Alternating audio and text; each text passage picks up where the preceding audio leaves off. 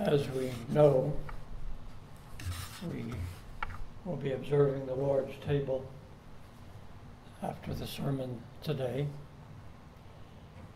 And it is our practice and our purpose and our endeavor to focus upon the Lord Jesus Christ and his death.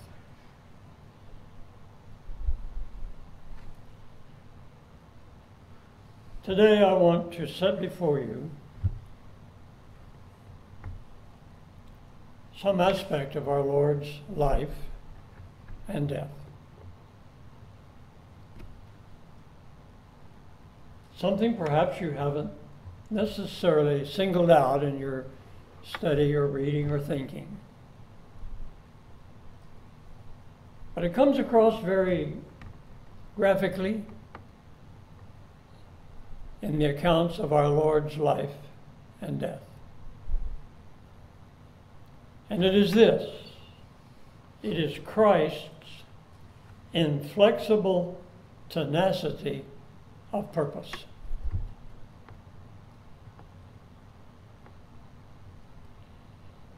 Christ's inflexible tenacity of purpose. Now, I want us to turn to Romans chapter 5.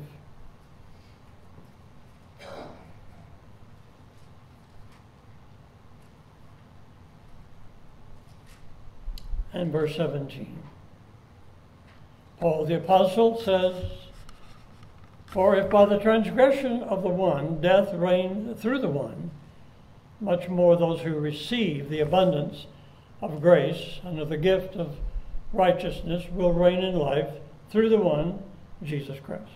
So then, as through one transgression there resulted condemnation to all men, even so through the act of one act of righteousness there resulted justification of life to all men. For as through the one man's disobedience the many were made sinners, even so through the obedience of the one, the many will be made righteous. And I want to call your attention to that word, obedience. Through the obedience of the one. Who's the one? Was Christ. And we'll be, we'll be considering the obedience of Christ and his life and his death. And I trust that we will see as we do that what we referred to earlier and that is our Lord's inflexible tenacity of purpose.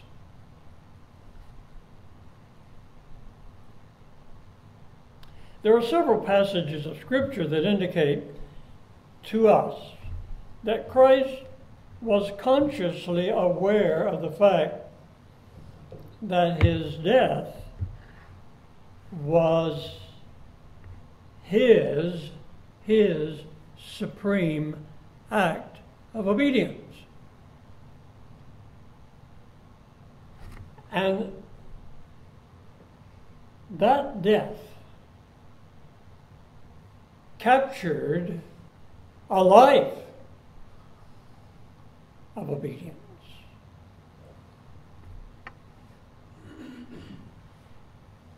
And that act of obedience in his death was, in fact, to become and to be the righteousness of those whom he came to save.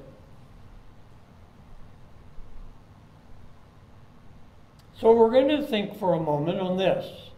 His death was his supreme act of obedience.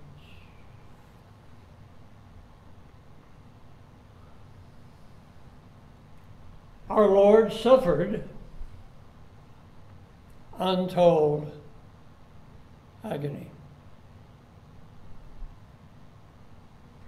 And he did it willingly.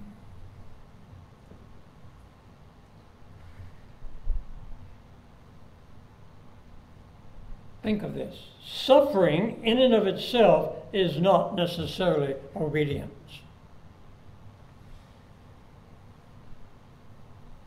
A man may suffer and at the same time be disobedient.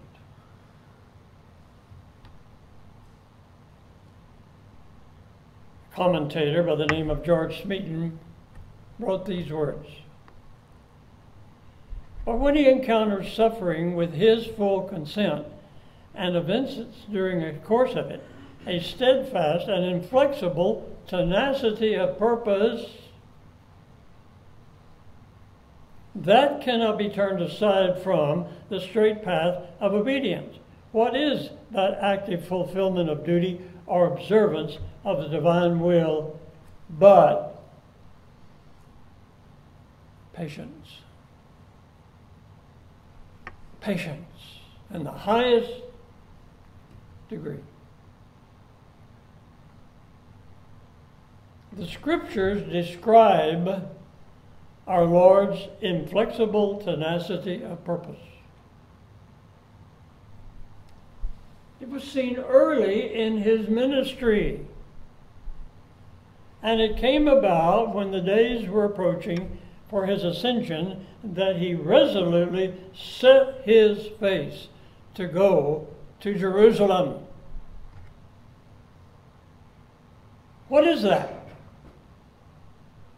Dear ones, that is inflexible tenacity of purpose. It was seen throughout the entirety of his life and ministry.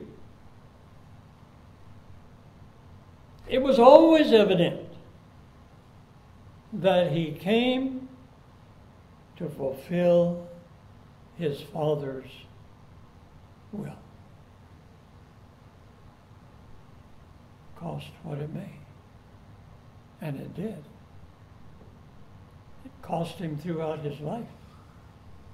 Time and time and time again. But ultimately and supremely in his death on the cross.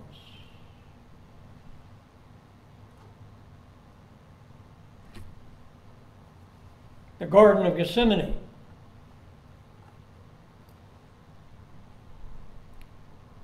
Is a manifestation of his inflexible tenacity of purpose.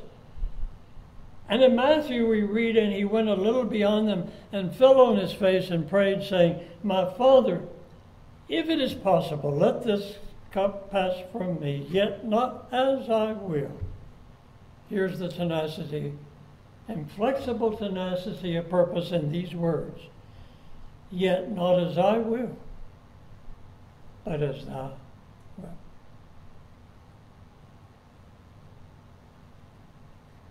You see, we've been talking about obedience.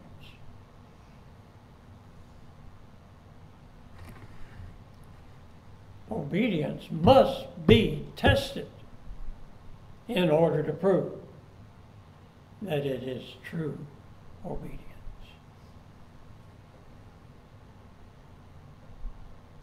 Sometimes it is proven or tested by restraint. Other times it is tested by endurance. How is it tested by restraint? Adam's obedience was tested by restraint.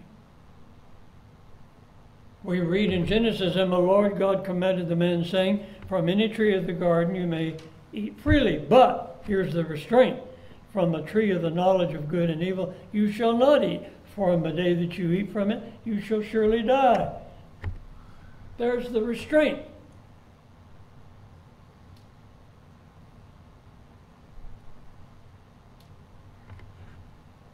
And in Romans, Paul writes, So then, as through one transgression there resulted condemnation to all men. Ah, even so, through one act of righteousness, there resulted justification of life to all men. Dear ones, Christ's obedience was tested by endurance. And we read about it in Hebrews. Although he was a son, he learned obedience from the things which he suffered. And having been made perfect, he became to all those who obey him the source of their eternal salvation. And we know, do we not, because Christ was the representative and substitute of those whom he came to save, his obedience resulted in their salvation. The many will be made righteous, as Paul wrote to the Romans. You see, dear people, the great commandment which was laid upon our Lord was to die.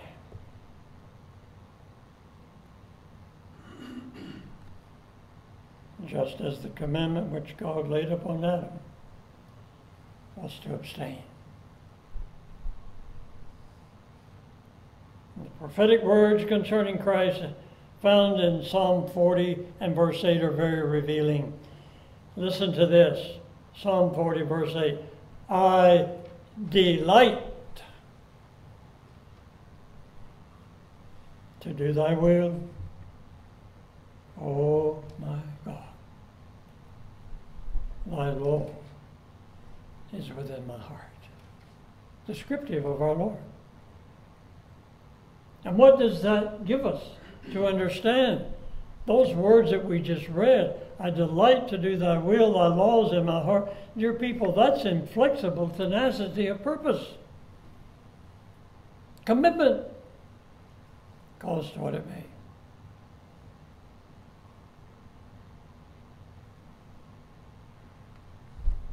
I want us to consider the words of Christ. And if you will, turn with me to John 14.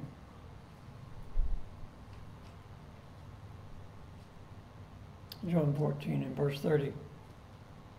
Our Lord says, I will not speak much more with you, for the ruler of the world is coming, and he has nothing in me.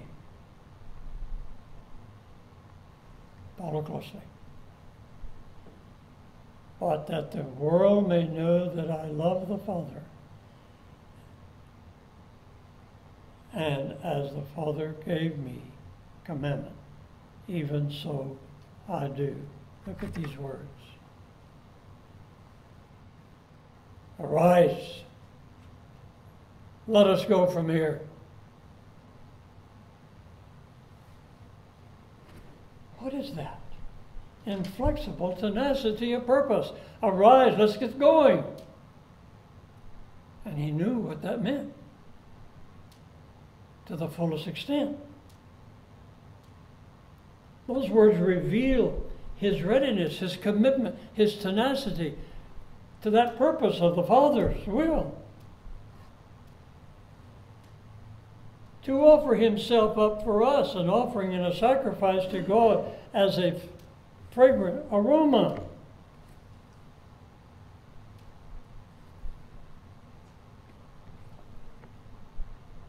Our dear Lord demonstrates for us a quality that we should have in our life, especially when it comes to the things of God.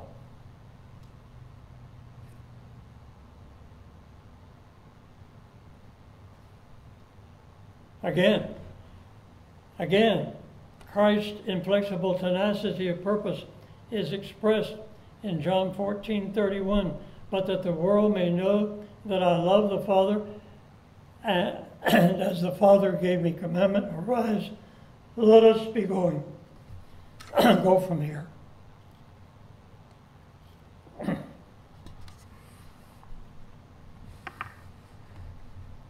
It's as if Christ is saying, under no circumstances will I turn back. His face was set like a flint.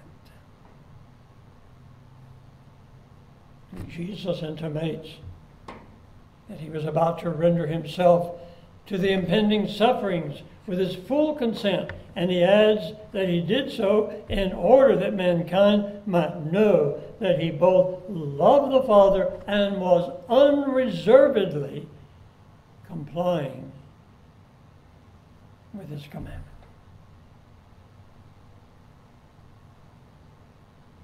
There are other words of our Lord which reveal that God the Father loved the Son because he willingly laid down his life for those whom the Father come to give him. Christ demonstrates the highest act of obedience when, in obedience to his Father's will, he willingly, he willingly laid down his life.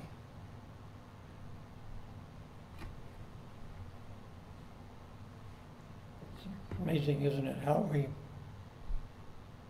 can read the lives of other men throughout the ages, demonstrating commitment, tenacity of purpose. Jim Elliot and others serving with him. Five, I think, in all missionaries ministering to the savages of a jungle area,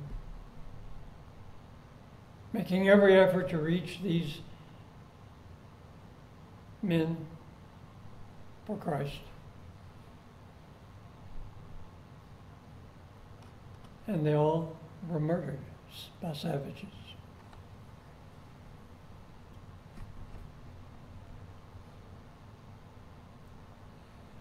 Jim Elliot on one occasion said he's no fool who gives what he cannot keep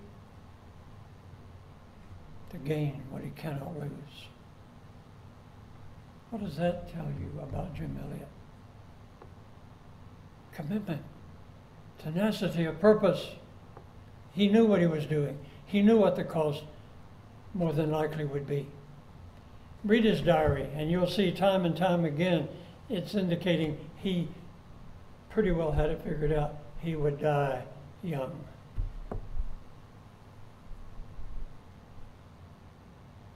Martin Luther. Here I stand. I can do no other. Tenacity of purpose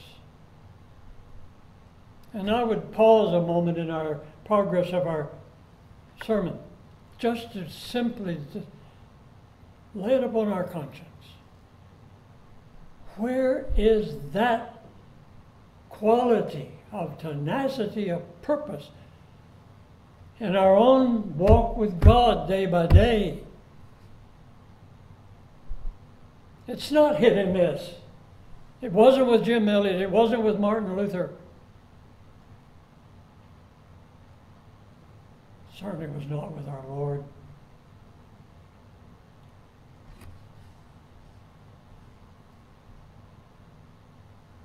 We have a lot to think about.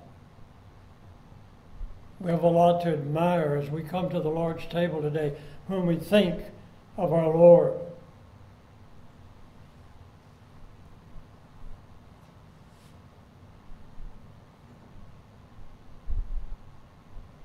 Just stated differently.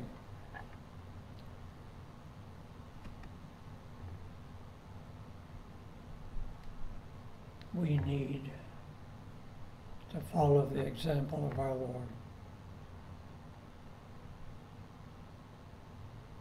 which in most cases will not lead to death.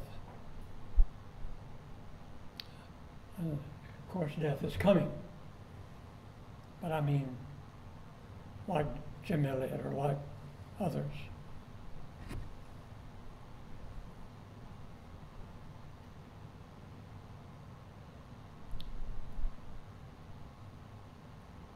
I want us to think next as part of this tenacity of purpose. Let me word it this way Christ, conscious offering himself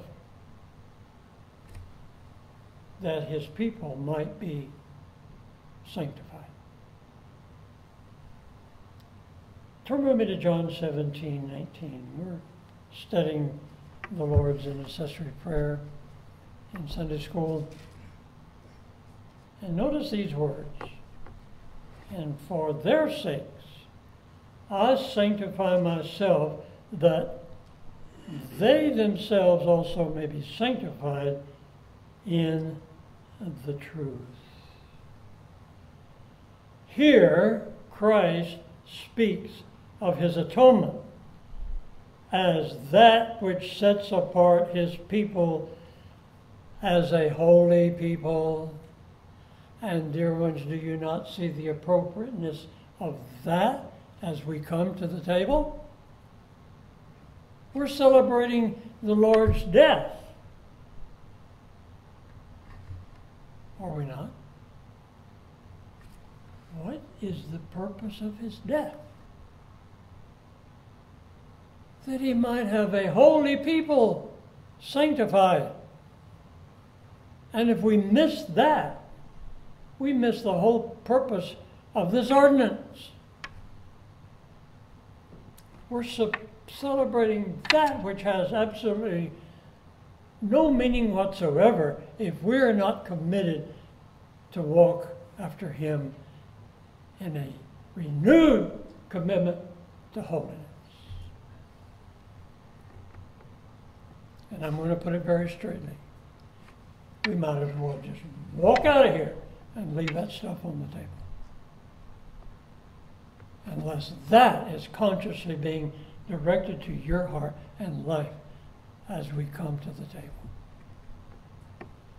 Where's our tenacity?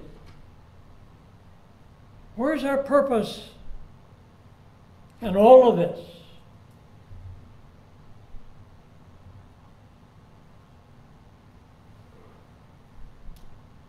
We might be holy. That's what it's all about. Because we read in Ephesians. We were chosen in Him before the foundation of the world that we should be holy.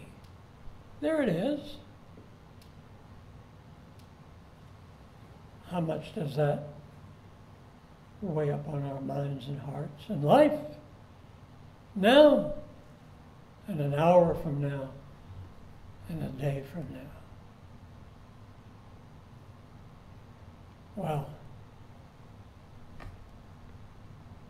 we have Christ set before us in His Word.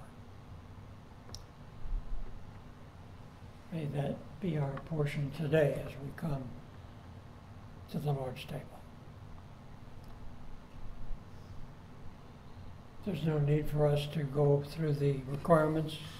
All of you know them. So may we come to the Lord's table at this time. Let's pray and then we'll have the men come. Father, take these truths and write them upon our hearts. Grip us with the truth. Awaken us, shake us up today to be your people and to love you, to obey you and to manifest tenacity of purpose as we walk out of here today. In Christ's name we pray. Amen.